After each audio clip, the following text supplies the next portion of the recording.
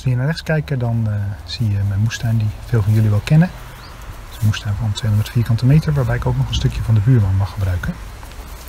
Als je doorloopt op het complex, een klein stukje naar achter, dan is er nog een tuintje. Die is ietsje kleiner, dat is een fruittuin. Hij staat niet alleen maar vol met fruit, met bessen, maar ook met onkruid en dan met name pispotje. En de vorige gebruikers die uh, konden dat er niet bij hebben naast de tuin die ze al hebben. Dus dacht ik, ik ben wel weer eens toe aan een uh, groen avontuur. En uh, nu ga ik proberen deze tuin op te knappen, onkruidvrij te maken. Het is wel een leuk stukje. Hey, een bloempotje. Maar het gaat natuurlijk met name over het pispotje hier.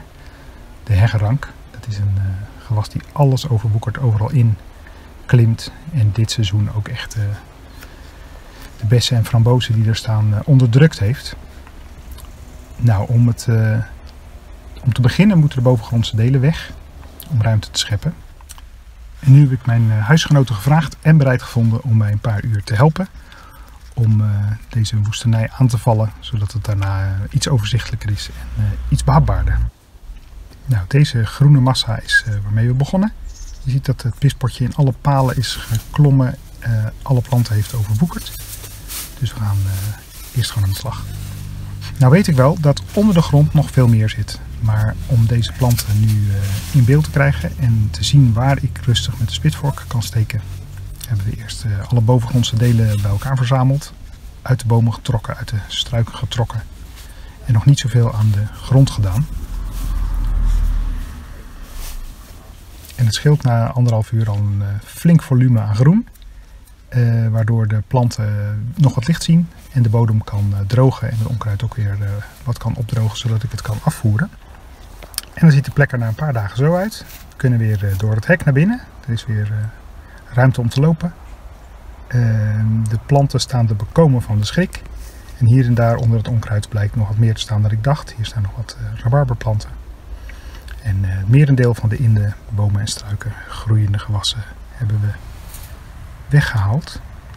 Nou, het volgende hoofdstuk is dus de grond. Want zodra je je handen in de grond steekt, dan zie je hier de wortels van de haagwinde, pispotje.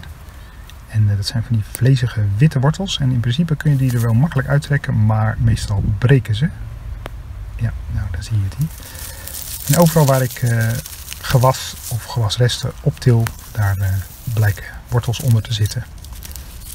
En uh, nu is de grond wat uh, droog, dus dat werkt eigenlijk wel fijn. Hier kan ik best wel grote afstanden uithalen. En heb je binnen een, een minuut heb je een paar meter wortel. En dat zullen zeker niet de laatste wortels zijn die we hier het komende jaar gaan uithalen. Maar goed, het is een prachtig plekje. Er staat een mooie eucalyptus bij de buren.